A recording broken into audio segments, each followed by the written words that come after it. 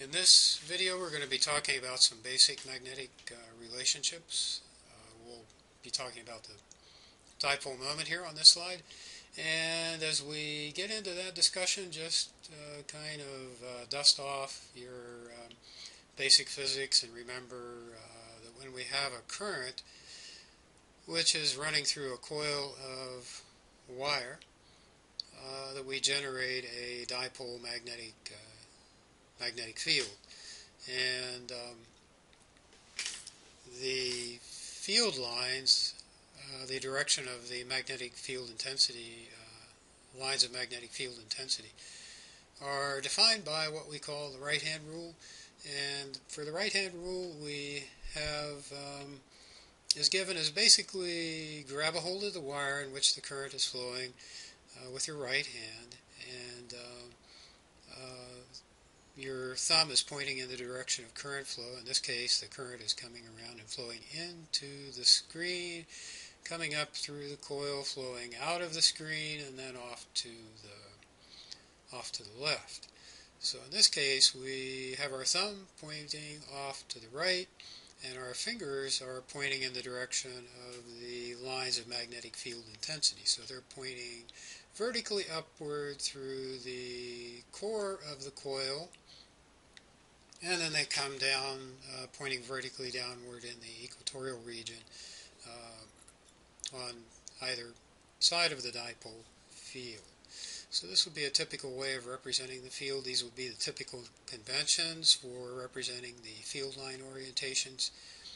Additional quantities associated with the coil are the cross-sectional area. So looking downward on this coil, we would see a circle of cross-sectional area A, and the length of the coil is represented by L. So we have a quantity referred to as the dipole moment which is just the product of the pole strength times the length of the coil. And that is equal to the number of turns that we have in the coil times the current flowing through the coil times the cross-sectional area. So if we divide both sides by L, we get um, P is basically equal to NIA over L, and the units um, of length cancel out, so we have units for the pole strength of ampere meter. This would be a standard international or an SI unit of measure. So we'll be mixing, we'll, we'll refer to both standard international and CGS units, uh, mainly CGS units. So here is another basic idea that I think you're all familiar with and re recall from your basic physics is that you um, if you have a, a coil of wire like this with a, a, magnetic material in the, in the core, let's say a rod of iron, uh, if you turn on the field and increase the strength of magnetization here, that would be the increase the current flowing through the coil, you're going to increase the magnetic field which is induced uh, in the, uh, you know, through the, the, dipole field that, that's produced by the uh, current moving through the coil. So the intensity of magnetization will increase up to a point referred to as the saturation point. And then when you, let's say if you try to retrace your steps and you reduce the intensity of the magnetizing field, it will drop back down, but it won't drop all the way down to zero. It will drop back down to some remnant uh, magnetization within the iron uh, core. So we can continue to, uh, we can reverse the direction of current flow and increase the intensity of current flow in that direction. And that will cause the intensity of magnetization to drop. And it will drop down to some negative value, also a point of saturation here. And then we can go through the process in reverse again. We'll start the current going in the opposite direction and continue on up. Uh, and then we come back up to this plateau, this point of saturation. So this is referred to as the hysteresis loop and or hysteresis loop. And um, this phenomena is something that we usually don't have to worry about when we're working with magnetic fields in an exploration geophysics application.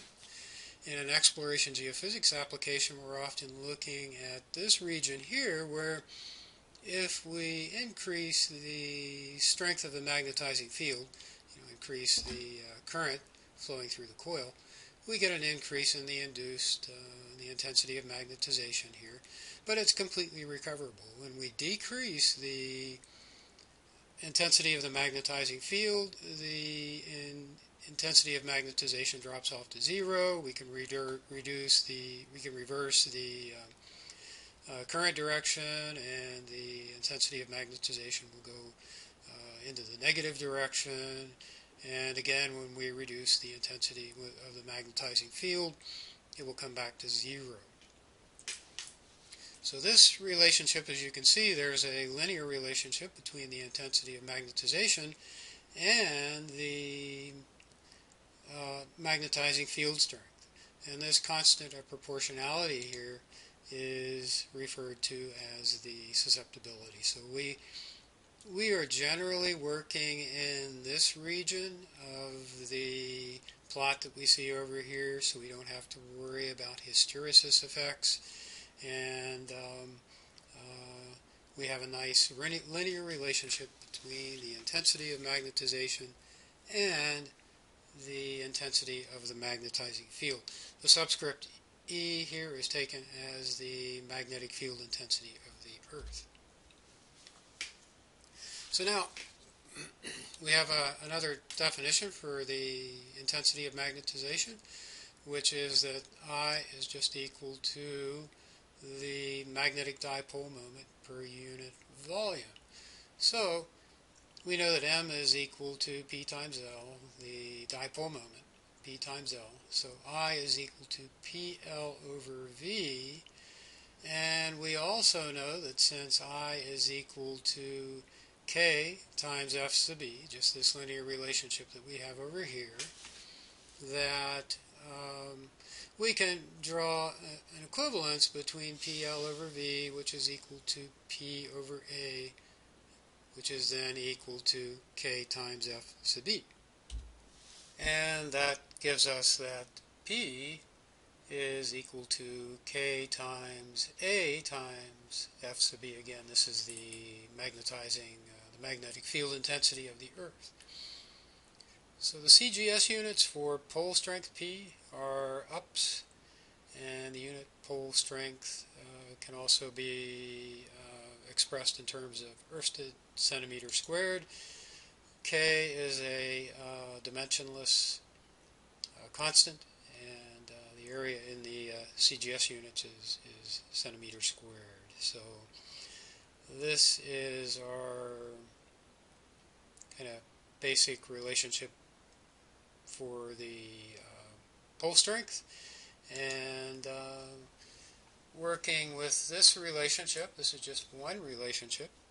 We have, as we noted, that the pole strength is equal to the magnetic susceptibility times the cross-sectional area of the coil times the magnetizing field strength.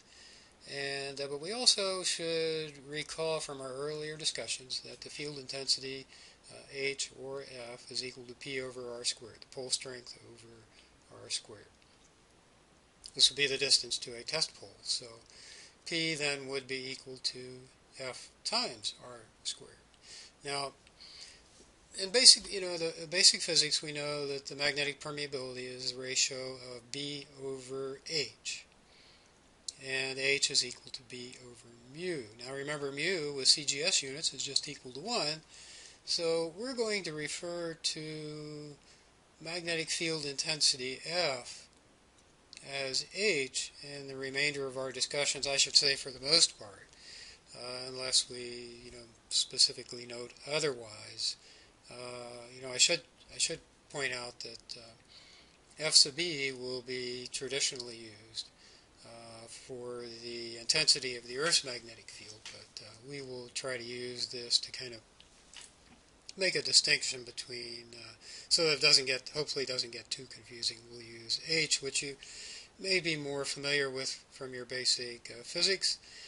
Uh, standard international units for P are the ampere meter, which we showed earlier on, and H has units of ampere per meter. So, and I think you can see where the R squared, if in meters using uh, standard international MKS units, uh, we would get ampere meters there. Now, an additional relationship is that P is equal to uh, HR squared, as we as we sh showed. H is also equal to K times the magnetic uh, field intensity of the Earth times, or of the, the inducing coil in this case, uh, over R squared. So we get P equal to K times A F sub B, an expression that we can also use for the magnetizing field of the Earth.